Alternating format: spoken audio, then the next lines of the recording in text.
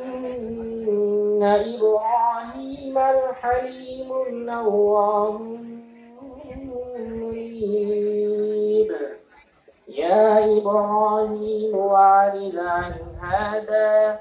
أليس منكم رجل رشيد؟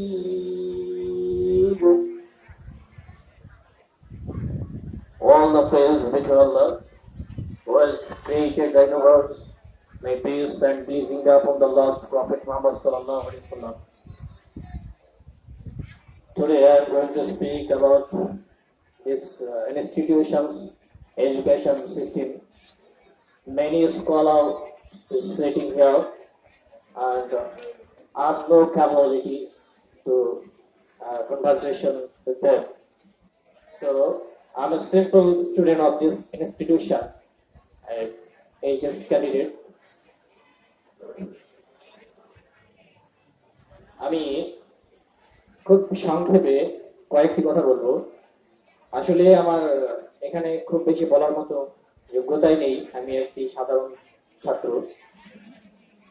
আজকে আমার খুব ভালো লাগছে যে আমরা এইরকম একটি জায়গায় আসতে পেরেছি। অর্থাৎ আমরা উচ্চ মাধ্যমিক পরীক্ষা দিতে চলেছি বা কিছুদিন পরে আমরা উচ্চ মাধ্যমিক পরীক্ষা দেবো।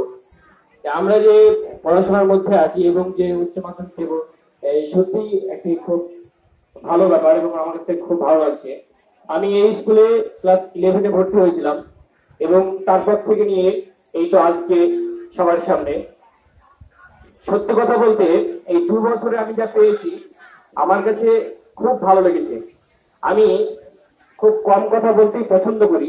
একটি কথা বলব যে এই স্কুলের মতো স্কুলে কোনো ছাত্র এসে বা কোনো ছাত্রী এসে যদি ভালো রেজাল্ট না করতে পারে তাহলে সে একজন বড় হতবাগা এত সুন্দর একটি স্কুল, এত সুন্দর এখানকার এডুকেশন সিস্টেম এত ভালোভাবে এখানে পড়াশোনা করানো হয়।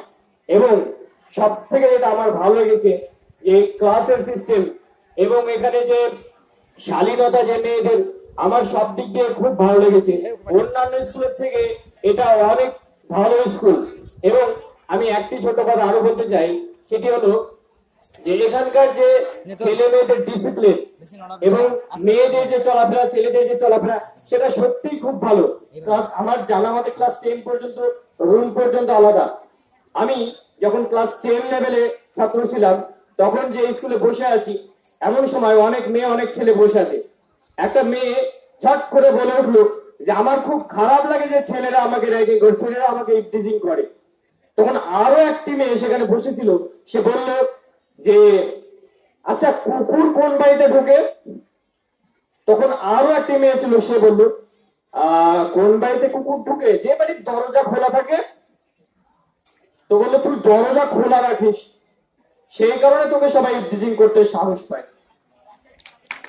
সত্যি,